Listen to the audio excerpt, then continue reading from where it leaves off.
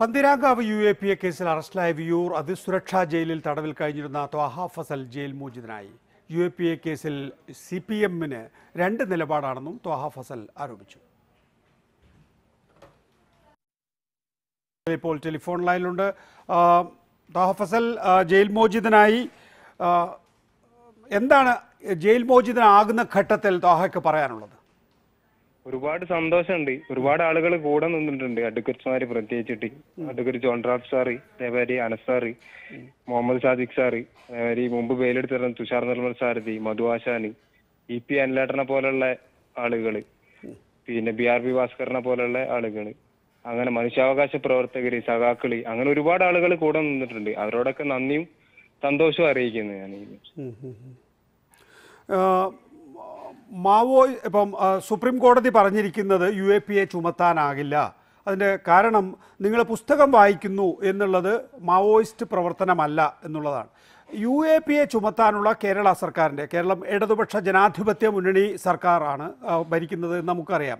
U A P A ചുമത്താനുള്ള ആ തീരുമാനത്തെ ഇപ്പോഴെങ്ങനെയാണ് നോക്കിക്കാണുന്നത്? നിലവിൽ യു എ പിക്കെതിരെ സംസാരിക്കുന്ന കുറച്ച് ആളുകൾ യു എ പി എ അവർ ഭരിക്കുന്ന സ്ഥലങ്ങളിൽ യു എ പി എ ചുമത്തുന്നത് തുറന്നു കാട്ടപ്പെട്ടു എന്നുള്ളതാണ്. നമ്മൾ കേസോട് നമ്മളെ കേസോട് കൂടിയല്ല.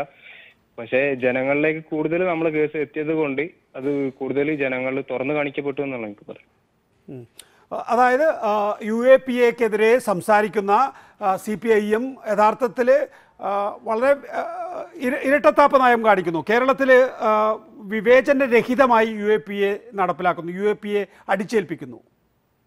അതെ അതെ അതെ. അത് ഈ എന്റെ കേസിൽ മാത്രമല്ല ഇതുപോലെ തന്നെ കേസ് എടുത്തിട്ടുള്ള ഒരുപാട് കേസുകളുണ്ട് കേരളത്തിൽ ഇപ്പൊ നിലനിൽക്കുന്ന ഈ സർക്കാർ അധികാരത്തിൽ വന്നതിന് ശേഷം. അപ്പൊ അത്തരം നിലപാടുകളായിട്ട് യു എ പിക്കെതിരെ ഒരു നിലപാടുകളായിട്ട് പ്രസംഗിക്കുകയും മറ്റൊരു നിലപാടായിട്ട് മുന്നോട്ട് പോകുന്നതും ഇരട്ടത്താപ്പ് തന്നെയല്ലേ? പുസ്തകം വായിച്ചാൽ നോട്ടീസുകൾ കൈവശം വെച്ചാൽ എങ്ങനെ മാവോയിസ്റ്റ് ആകും എന്നുള്ള ചോദ്യം നേരത്തെ തന്നെ ഉയർന്നിരുന്നു. പക്ഷേ അത് പിണറായി വിജയൻ സർക്കാർ കേൾക്കാൻ തയ്യാറായിരുന്നില്ല. നോക്കൂ നിങ്ങളെ സംബന്ധിച്ചിടത്തോളം നിങ്ങൾ മാവോയിസ്റ്റ് ലിറ്ററേച്ചർ കൈവശം വെച്ചു എന്നുള്ളതാണോ? നിങ്ങളുടെ നിങ്ങൾ നിങ്ങൾ ചെയ്ത പിഴവ് എന്താണ് ഷിത്വാഹ ഫസൽ പിഴവാണെങ്കിൽ ഞാൻ പിഴവ് കോട്സിലിടുകയാണ് അതായത് കേസ് വിചാരണ ഘട്ടത്തിലായതിനെ കൊണ്ട് എനിക്ക് കേസിന്റെ മെറിറ്റുകളിലേക്ക് കടന്നുകാണ്ട് സംസാരിക്കാൻ കഴിയില്ല. എങ്കിൽ പോലും നിങ്ങൾ അറസ്റ്റ് നടന്നപ്പോൾ മുദ്രാവാക്യം വിളിക്കുന്നുണ്ടായിരുന്നു എന്നൊക്കെയാണ് പോലീസ് ആ കാലഘട്ടത്തിൽ പറഞ്ഞിരുന്നത്. അതന്നെ ഞാൻ കേസിന്റെ മെറിറ്റിലേക്ക് എനിക്ക് അങ്ങനെ കടന്ന് സംസാരിക്കാൻ പറ്റില്ല. കാരണം കേസ് വിചാരണ നടപടികൾ മുന്നോട്ട് പോകുന്നുണ്ടല്ലോ. അതെ. തോഹ ഫസൽ ഒരു മാവോയിസ്റ്റ് അനുഭാവിയാണോ? ഞാനൊരു കമ്മ്യൂണിസ്റ്റുകാരനാണ്. ഒരു ആക്ടിവിസ്റ്റ് ആണ് കമ്മ്യൂണിസ്റ്റുകാരൻ എന്ന് പറയുമ്പോൾ പാർലമെന്ററി രംഗത്ത് ഏറ്റവും വലിയ party C P I M ആണ്. പാർലമെന്ററി പാർലമെന്ററി രംഗത്തില്ലാത്ത ഏറ്റവും വലിയ പാർട്ടി സി പി ഐ മാവോയിസ്റ്റാണ്. ആണ് ഏതിലാണ് വിശ്വാസം? അതെ ഞാനൊരു കമ്മ്യൂണിസ്റ്റുകാരനാണ്. ജനാധിപത്യത്തിലാണ് ഞാൻ വിശ്വസിക്കുന്നത്. അപ്പൊ അത്തരം രീതിയിൽ ഏത് ജനാധിപത്യത്തിൽ? ബുഷോ ജനാധിപത്യത്തിലോ അതോ കമ്മ്യൂണിസ്റ്റ് പാർട്ടി പറയുന്ന ജനാധിപത്യത്തിലോ? കമ്മ്യൂണിസ്റ്റ് പാർട്ടി പറയുന്ന ജനാധിപത്യത്തിൽ തന്നെയാണ്. ഓക്കെ. അതിനോടൊരു അനുഭാവം പുലർത്തുന്നുണ്ട് തോഹ. അത് പറയുന്ന പറയുന്നതിന് ബുദ്ധിമുട്ടുണ്ടോ? അത് ഞാൻ പറഞ്ഞില്ല ഞാൻ കമ്മ്യൂണിസ്റ്റുകാരനാണ്. കമ്മ്യൂണിസ്റ്റുകാരനാണ്. അതിൽ മാവോയിസ്റ്റ് ആണെന്ന് പറയാൻ അത് മാവോയിസ്റ്റ് ഒരു ബാൻഡ് ഓർഗനൈസേഷനാണ് ഇന്ത്യയിൽ. അതുകൊണ്ടാണോ മാവോയിസ്റ്റ് ആണെന്ന് പറയാൻ ബുദ്ധിമുട്ടുള്ളത്?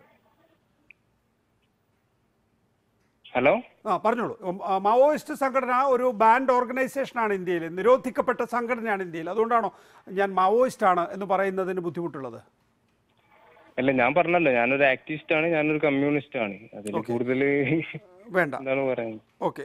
ഏതായാലും യു എ പി യുടെ കാര്യത്തിൽ കമ്മ്യൂണിസ്റ്റ് പാർട്ടി എന്ന് അവകാശപ്പെടുന്ന സി പി എം ഭരിക്കുന്ന കേരളത്തിലെ ഇരട്ടത്താപ്പാണ് എന്നാണ് ത്വാഹയുടെ അഭിപ്രായം. അല്ലേ? അതെ. ഓക്കെ.